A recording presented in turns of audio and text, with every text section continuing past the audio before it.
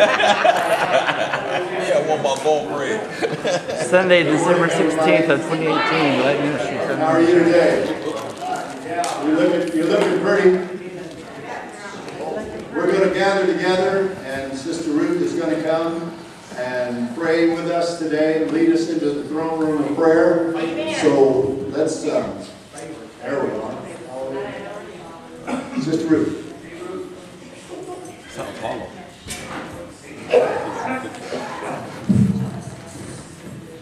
in church. Yeah, we not hold the microphone, so I run to speak when it's there. Hallelujah. It's good to be in the house of the Lord today, and especially the season of Christmas, when we remember the birth oh, of Lord Jesus, the birthday of our Lord Savior. We are so blessed, and it's a joyous giving and receiving. Amen. Amen. So even as we approach the throne of God this morning, it's good to approach the throne of God with the reverence that we we are blessed, and unto us a child is born, and we have a Savior. Amen. Amen. It's a very important season for us, the Christians. Sometimes we we get used to it, but I think this is the most important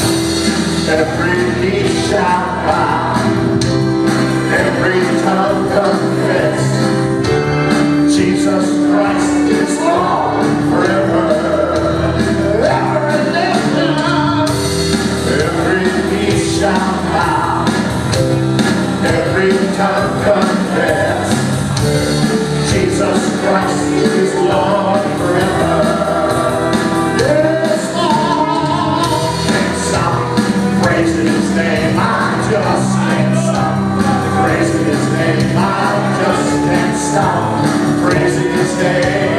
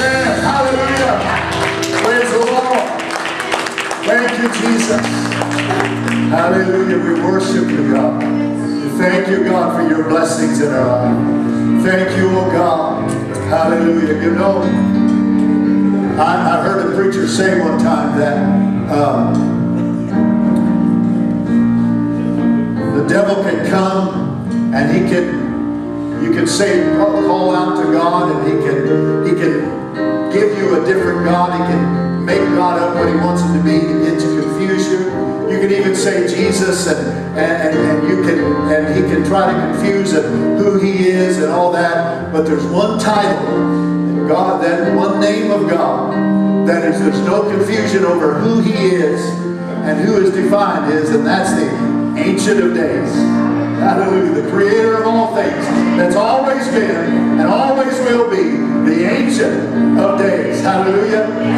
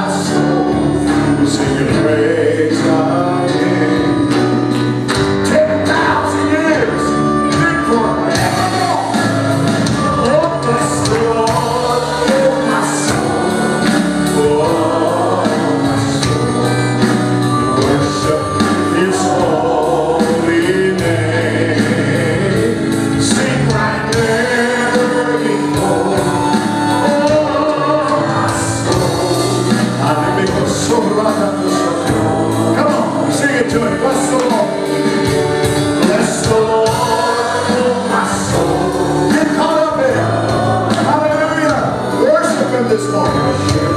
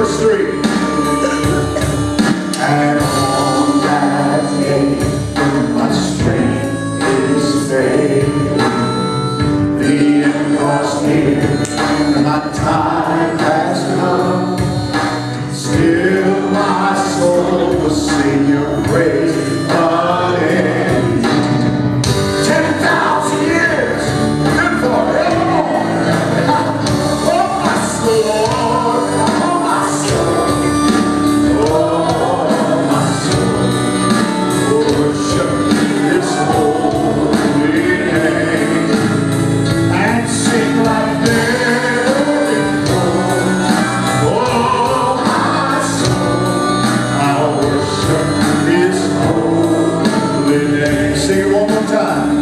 Oh, bless the Lord. Come on, bless him.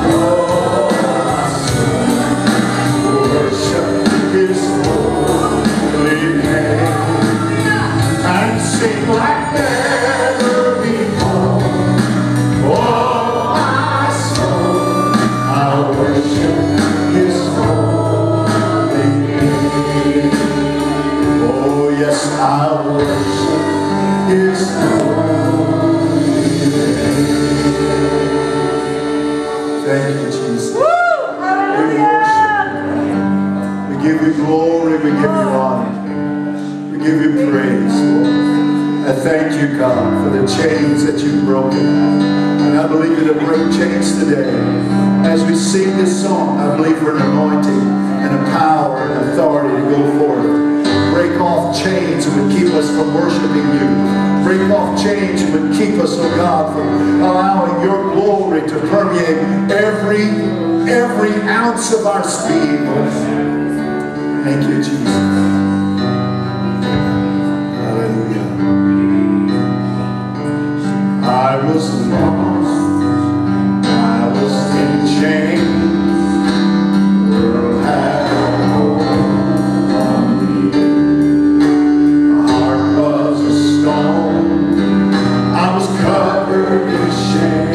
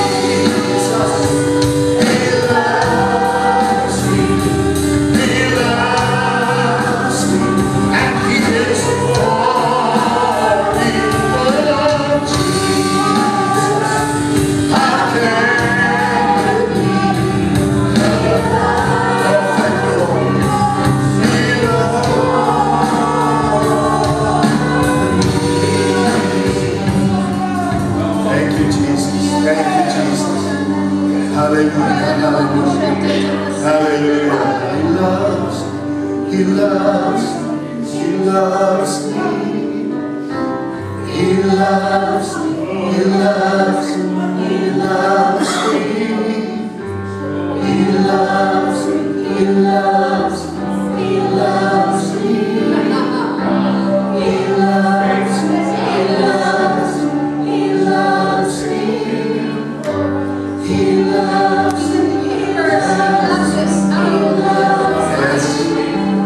us first. He showed us what love was. Oh, we thank you for your love. I pray your love, God, be spread to every heart and life in this building. I pray, God, that every loved one of every person represented here, every family represented, know the love of Jesus, know the love of his compelling power to draw them in. Into your grace, into your love, into your forgiveness, into your power to break every chain. Hallelujah, in the name of Jesus. Yes, Lord. He loves, He loves, He loves. Thank you, Jesus. Amen. You may be seated. We're going to ask the uh, leaders of the church to come. We're going to share with you today communion right at this time. And uh, so we'd ask you to uh, be in a time of prayer. As they come, we're going to pray over the bread and the juice to bless it for this purpose. Um, praise God. So let's pray. Father, we love you. We thank you for your blessings. We ask you, Lord, now uh, to be with us as we share this communion with each person here. We thank you, God, for the faith of Jesus Christ that has brought us to know you. And we thank you for the sacrifice of the Lord Jesus Christ. We thank you, oh God, for him giving him, his giving himself for us. We ask you to bless this bread and bless this juice for the purpose of communion, for remembering the body and the blood of our Lord Jesus. In Jesus' name. Amen. God bless you as you receive. You do not have to be a member of this church. It is important to be a member of the kingdom of heaven by knowing who Jesus Christ is and having confessed him as your Lord and have an active, working, living relationship with Jesus. Amen. And so, uh, that being said, we welcome you to children, our parents. Please uh, uh, watch over your children, make sure they understand and have a relationship with the Lord if you allow them to share with us in this communion. And uh, I'm going to read while they continue to pass out the sacraments uh, in 1 Corinthians chapter 11. I will begin with verse 23. For I received from the Lord that which I also delivered to you, that the Lord Jesus, on the same night in which he was um, taken, which he was betrayed, took bread. And when he had given thanks, he broke it and said, Take, eat. This is my body, which is broken for you. Do this in remembrance of me. In the same manner, he also took the cup after supper, saying, This cup is the new covenant in my blood. This do as oft as you drink it in remembrance of me. For as often as you eat this bread and drink this cup, you proclaim the Lord's death till he comes. Therefore, whoever eats this bread or drinks this cup of the Lord in an unworthy manner will be guilty of the body and blood of the Lord. But let a man examine himself, and so let him eat of that bread and drink of that cup. For he who eats and drinks in an unworthy manner, he drinks judgment to himself, not discerning the Lord's body. For this reason, many are weak and sick among you, and many sleep.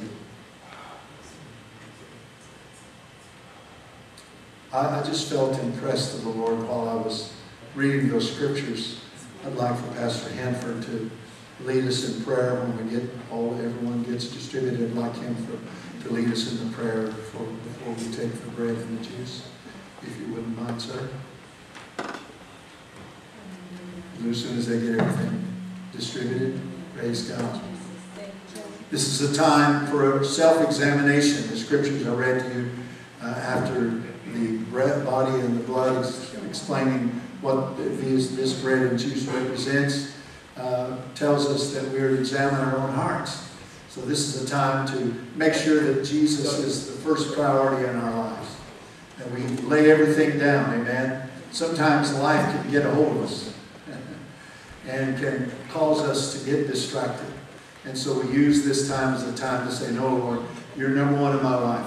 Forgive me if I have allowed myself to become so caught up in other things that I've allowed secondary things to be more thoughtful than you are in my life. But I recommit to you, Lord Jesus, today that you're Lord, you're King, you're the mighty God. And if there's anything, you know, I've had some say, well, I can't take communion because I, angry at somebody or something. And, and I, I don't think we ought to let anybody or anything stand between us and the Lord. Amen? And so just commit that to God, even if you still have the angry feelings. Just give them, just confess it to the Lord. And let the relationship between Him and you be good. And God will take care of that anger. Amen? Take care of that. He'll, he'll take care of it. Just confess it. Be honest with Him. Confess where you're at. Don't let your relationship be harmed. Amen. Brother Hanford.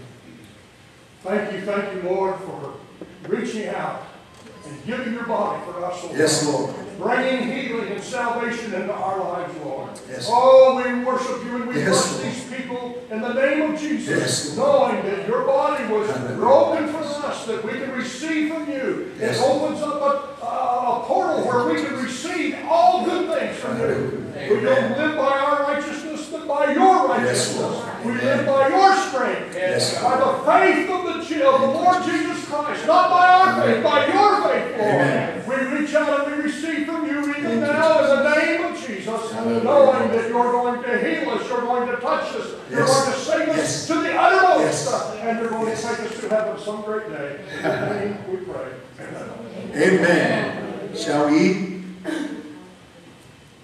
Shall we drink?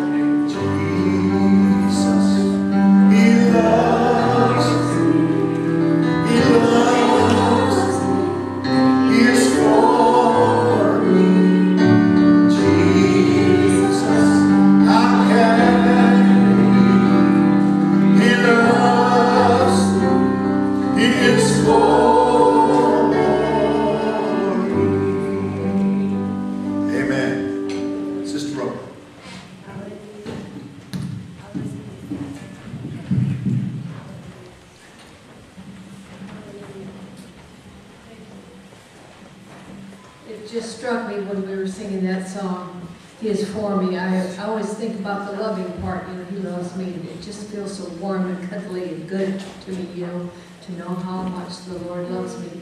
I'm always amazed.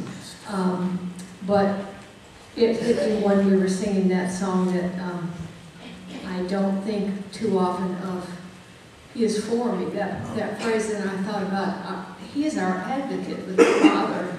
You know, He is for us. Do you ever feel like nobody's on your side? He's on your side.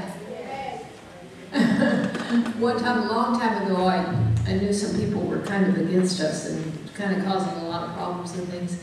And I said, Lord, but they're Christians and we're Christians, how does this work, you know? And uh, the Lord said, I'm for you, that's all you need to know. And I had kind of forgotten about that, you know, and I was reminded during that song, He's for me. He is on my side. No, Praise he's for me. and he's for you too, all of you. Isn't that, that's a wonderful. Um, Gentlemen, I didn't let you know ahead of time, but if you would please use the NIV version, because that's the version I have. And if you would do Luke chapter 2, verses 8 through 20, it's a lot of reading. That's why I want them to put it up here on the board. And uh, I'll do the announcements later if we get to it. But I want them to put that up because I want you to read with me, all of you, aloud. Repeat, chapter 2. Yeah, let's just do it right now. Luke chapter 2, 8 through 20, all the way. It's a lot of verses, so I'm not going to read it by myself. Okay, let's go. And there were shepherds living out in the fields nearby, keeping watch over their flocks at night. An angel of the Lord appeared to them, and the glory of the Lord shone around them. And they were terrified. But the angel said to them, Do not be afraid. I bring you good news that will cause great joy for all the people. Today, in the town of David, a Savior has been born to you. He is the Messiah, the Lord. This will be a sign to you. You will find a baby wrapped in cloths and lying in a manger. Suddenly, a great company of the heavenly hosts appeared with the angel, praising God and saying, Glory to God in the highest heaven, and on earth peace to those on whom his favor rests. When the angels had left them and gone from heaven, the shepherds said to one another, Let's go to Bethlehem and see this thing that has happened, which the Lord has told us about. I think I'd want to go too, wouldn't you? So they hurried off and found Mary and Joseph and the baby who was lying in the manger. And when they had seen him, they spread the word concerning what had been told them about this child. And all who heard it were amazed at what the shepherds said to them. But Mary treasured up all these things and pondered them in her heart. The shepherds returned, glorifying and praising God for all the things they had heard and seen, which were just as they had been told. Praise the Lord. Thank you, Lord. Thank you, Lord. If you follow the Advent every week, you get the complete Christmas story. Praise the Lord. So just today, there is a bake sale after church. And I was con, I gotta tell you, this is kind of funny. I was contacted by somebody, Christina, um, who said, um, are you gonna come and help gift wrap in the mall? And I said, sure, I'll come. And uh, then later on, I was contacted, and she said, are you gonna bake pecan pies for the gift, uh, bake sale? And I said, one or the other, Christina. You choose. Because I was real busy on Friday, I didn't have time to do it at that time, so I had to do it on Saturday afternoon. And so she just wrote back one word, pies. So there are pecan pies for sale. Anyway, I thought that was kind of funny. Um, so, um, so this is to benefit the East Bay Men's Recovery Center. And uh, if you, okay, uh, and he and they need hams and cash donations to buy hams for the Christmas baskets for the families in need. And you know, we've done this for years, and so people come by and kind of expect it. And we have to do it, so let's help out all those that can. And ladies, remember there's no ladies class until uh, January. And uh, there's other things, there's doing gift wrapping in the mall if you want to help for that, and all this, the Encounter Conference in January, and we can let you know about all that. Check the bulletin board. But I just wanted to say, He's for me, and He's for you. He's He's our advocate with the Father. All these things have kept running through my mind in that song, and I was about to float up. So God bless you all. I love you.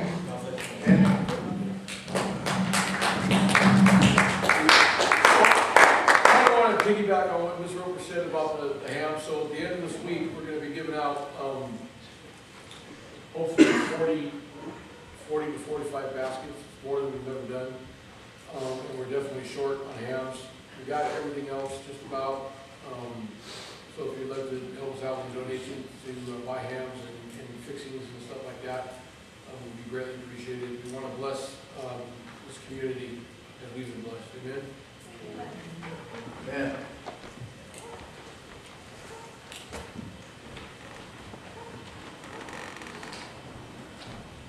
Morning, everyone. good Uh, hallelujah. Let's pray for the nation of Israel. Uh, Heavenly Father, we thank you so much for your people. We know that they're your people, Lord. We pray that you will bless your people continuously. And we thank you so much that we have been drawn into the lineage also, Lord. We thank you so much that when we pray for Israel, we're praying for ourselves also. Not that, Lord, we'd rather you take care of them, Lord. For your word says that those who bless Israel will be blessed. Amen. Amen. We thank you for these things. In Jesus' name we pray. Amen. Amen. Amen. All right. A lot going on. We've got uh, Christmas wrapping. We've got a big sale going and, and different things. We need some hams. And uh, my wife's bringing two right now. And a lot of things going on. So we, where you can help out, help out. And the Lord will bless you richly. Amen. And I got a little bit of a, let's see, New York cheesecake, uh, Black Forest cherry, uh, homemade mounds bars, uh, let's see, pineapple upside down cake, uh, a little bit of a list of what's available right after the service. Fudge, apple pie. Oh, wait. There's two pecan pies, so wait a minute. Never mind, there's only one left. Sorry. No, just kidding, just kidding. Never man upgrades. Hallelujah. Tell you what, uh, let's all stand, do our faith declaration.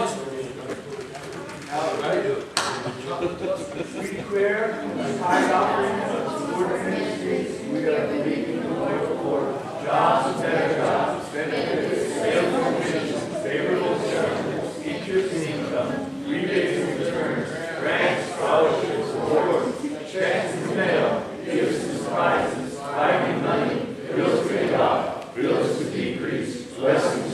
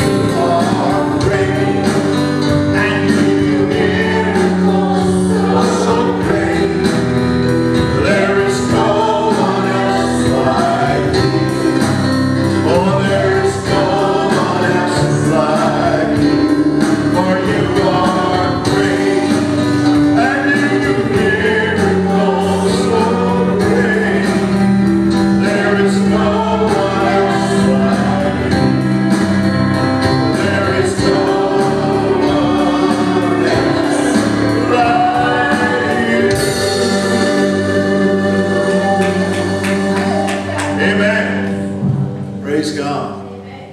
Also, and I failed to get the news to Linda. I intended to all week, but Linda, it's my fault.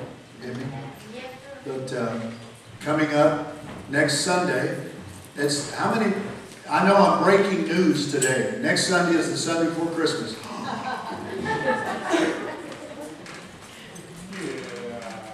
and so we're going to have a, a program from the kids and also uh, there will be, um, this, you know, it's become a tradition.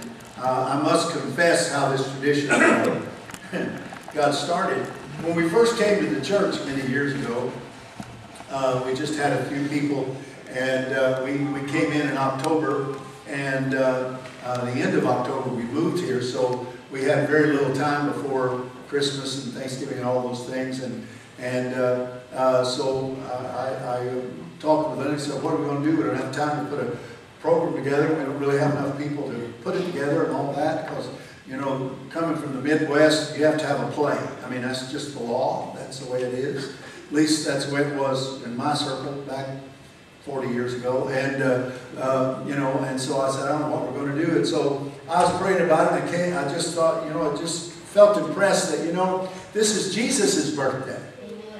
And so why don't we give him a present? And so we called it uh, Gifts for Jesus. And so we just said if you've got a testimony, if you want to sing a song, whatever you want to do, uh, we're just going to come and give our gifts to Jesus that day. Maybe you're a giver and your gift is giving and you want to give something special for a certain part of the ministry or whatever that day or, or whatever, whatever your gift is, we want to put it on display. And if you are a poet, read one of your poems, you know, whatever it is. And so uh, we did that for the first couple of, of years, and then uh, we put together a Christmas program and stuff, and then everybody kept coming to us and saying, what about Gifts for Jesus? And, and uh, then, you know, I tried to stop it because it, it was a stopgap to get, you know, to the other stuff, and all of a sudden everybody wanted to do the Gifts for Jesus. So, so, uh, uh, so now it's a tradition, and uh, so next week will be Gifts for Jesus, and we'll give as much time as necessary. I know I'm excited about one testimony that I've uh, already has been shared with me from Roy. I'm looking forward to that. And uh, you will be blessed by this testimony he's got what God has done uh, in his life. And, uh, and so, uh, you know, if you have a testimony, if you have a song, uh, you know, let's do it. Amen. Let's give a gift. And this is not for anything other than to give Jesus praise and to give back to him and saying, thank you, Jesus. We give a gift to you, whatever that gift might be. All right? And out of the gifts that he's given you, you give back to him. All right? So we'll do that next Sunday.